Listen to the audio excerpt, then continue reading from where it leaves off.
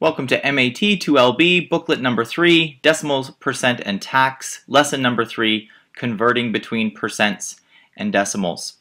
So our first lesson in this unit, we learned how to add decimals, so we were working with decimals. Second lesson was an introduction to percents, and now we're looking at a third lesson that talks about how do we convert between these two different ways of um, expressing a relationship between numbers. So we're going to start by looking at the first example. We're trying to express 58% as a decimal. And there are two steps for this. There's actually just, it's kind of one step. And the second step is just writing your answer. We're going to take whatever our percent number is, so the number in front of our percentage sign, and we're going to divide it by 100. So if you have a calculator, that's fantastic. I'm going to be typing mine into a calculator. So we're going to take whatever number was in front of our percentage sign, in this case it's 58, and we are going to be dividing it by 100. And when I type that into my calculator, I get 0 decimal 5 8. And that's really all there is to converting from percents to decimals. So we'll try one more together just to see if we can internalize the step a little bit, and then you can try some examples on your own. So let's have a look at A. Express 19% as a decimal. So first step is to take the number in front of our percentage sign, which is 19, and we are going to be dividing it by 100. In a lot of ways, this is the same as saying we have 19 parts of our 100, as if we've written it like a fraction, and we've actually just done the act of dividing it, which the fraction bar means when we're talking about math operations. So we have 19 divided by 100. We type that into our calculator, and we get 0 decimal 1 9. So you should be typing in these calculations along with me on your own calculator. Now's the time to try one on your own. So what I'd like you to do here is hit the pause button, try B. When you think you've expressed 87% successfully as a decimal, come on back and we'll see how you did. Okay, you've tried 87% as a decimal.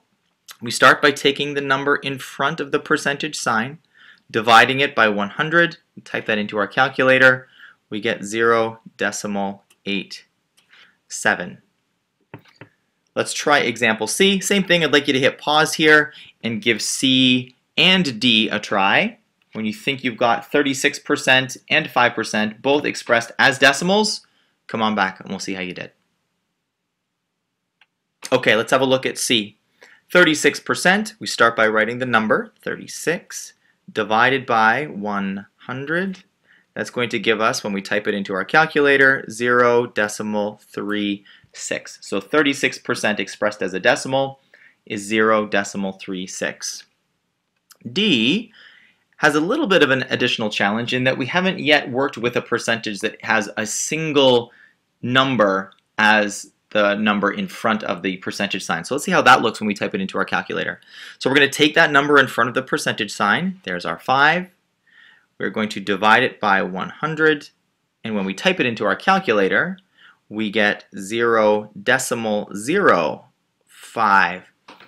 So I say this is a trickier one because I don't want you to panic because there is an additional 0 after the decimal place. That is perfectly fine. There's nothing wrong with that whatsoever. Let's take a look at this whole process in reverse for the second half of this lesson. So we started by taking a percentage, started figuring out how to express it as a decimal. Let's work in the opposite direction now. If I give you a decimal, how can we express it as a percent? We just do the exact same procedure but in reverse, doing opposite operations. So let's take a look at example number two. Express 0 decimal 41 as a percent.